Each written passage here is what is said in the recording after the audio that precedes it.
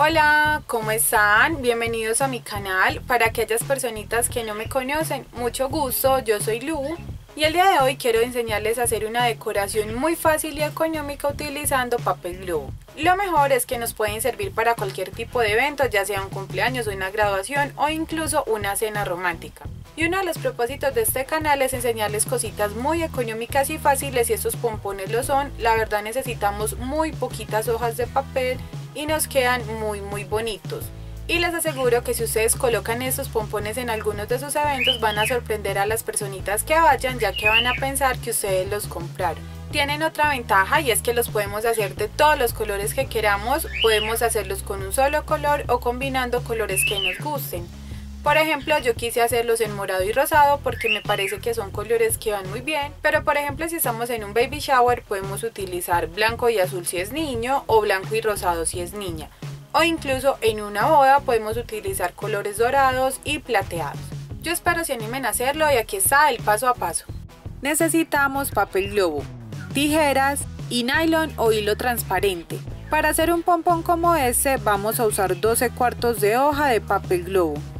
Para obtener un cuarto de hoja, lo que hacemos es doblar una hoja grande a la mitad y luego volvemos a doblarla en el medio como le hago yo. Cortamos los bordes por los cuales está unido. De una hoja nos salen cuatro cuartos. Mi pompón va a ser de dos colores, por esa razón mis hojas están combinadas. Ahora vamos a hacer un abanico como los que hacíamos cuando estábamos en el colegio. Este va a ser de más o menos dos dedos de ancho.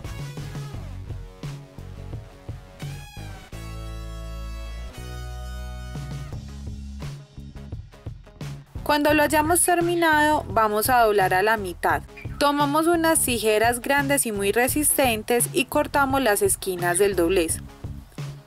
Esto puede ser un poco difícil porque hay mucho papel, por eso les recomiendo utilizar unas tijeras gruesas. Si no son capaces de cortarlo con el abanico doblado a la mitad, dibujen un triángulo en el medio cuando el abanico esté abierto y lo individual. Luego tomamos nuestro hilo transparente y lo amarramos en el medio del abanico, dejando un extremo largo para poder colgarlo. Lo ideal es tratar de hacer de 3 a 4 nudos para que sea mucho más resistente. Vamos a cortar las esquinas de los extremos del abanico. Yo las quiero en punta, pero también podemos hacerlas redondas. Y ahora comencemos a darle forma. Lo que hacemos es levantar cada una de las capas y las arrugamos para que se vea más relleno y con volumen.